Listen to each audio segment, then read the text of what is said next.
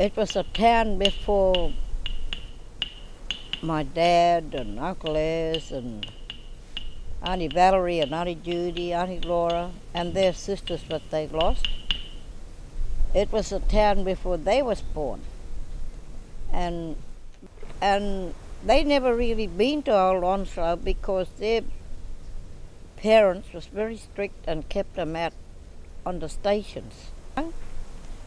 And like with the dungeon, where they got the chains and that bit of hole on top, that's where they used to keep the prisoners all chained up inside there. And then, well, we all knew about it. And the next time we went to Old Onslow, we see the sign there saying that the dungeon was a water tank. But we all knew it wasn't. And they cemented the top of it. Then we put in a complaint about that. And like when we went out the other day, that cement is gone and even the sign is gone from there.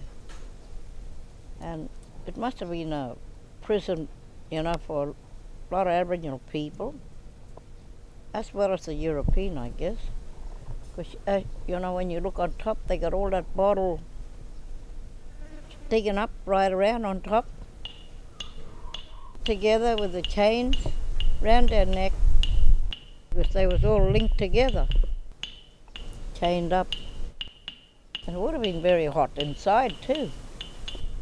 And I'm not too sure what happened when, like, if one of them passed away, you know? I don't know what